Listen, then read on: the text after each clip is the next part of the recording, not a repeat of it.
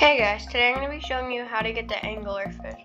First, go to the Marina Trench Zone. And then you go down here.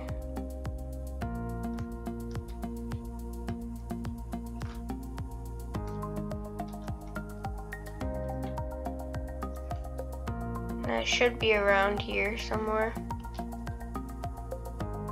Right there. But whatever that thing is, stole it. okay. Okay. And that's how you get the anglerfish. Thank you guys for watching. Please subscribe and like this video. See you next video.